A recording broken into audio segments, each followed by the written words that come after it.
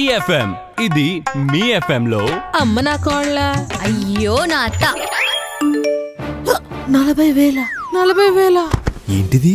Current shock కొట్టిన కాకిలైపోయింది ఉసే కాంతం అమ్మా కాంతం లేవమ్మా. ఏమైందత్తమ్మా అట్లే పోయినావు అరే రత్తాలు మామ గురించి ఏమైనా తెలిసిందే ఓస్లోకి వచ్చింది అబ్బా లేసాను కానీ అర్జెంట్గా మనం ఇల్లు ఖాళీ చేసి గ్రీకు దేశం పోవాలి. ఏంటి?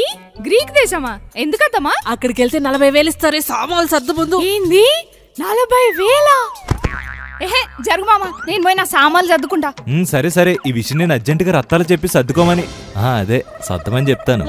సరేలే నేను పోయి మన వీధిలో అందరికీ చెప్పేసి వస్తా అనియా? ఓ ఏ కామరా అన్నయ్య? ఏ కామరా అన్నయ్య? ఓ సూరమ్మక్క రంగమత్త మంగపిని నేను పోతున్నా గ్రీకు దేశం. ఆంటీకి అవుతారా అని ద్వీపం ఉంటే ఏదో ఓ నలభై వేలు ఇస్తారంట అక్కడ ఉంటే అందుకే మా ఫ్యామిలీ బయలుదేరాం ఏంటి? నలభై వేల. చలమ్మా నేను మా ఫ్యామిలీ. అటేడు తరాలు ఇటేడు తరాలు మాత్రం వస్తాయి. నువ్వు కాదనకూడదు చెప్తున్నా. మాట ఇచ్చేసావు అట్టాగే అన్నయ్య. ఇదిగో కాంతం రత్తాలు వాళ్ళ యూనియన్ అండ్ ఫ్యామిలీస్ మనతో పాటు వస్తున్నాయి. ఇంకా ఊళ్ళో వాళ్ళందరికి చెప్పపోయారా మరి? పా ఛ, మీరు మారర్రా.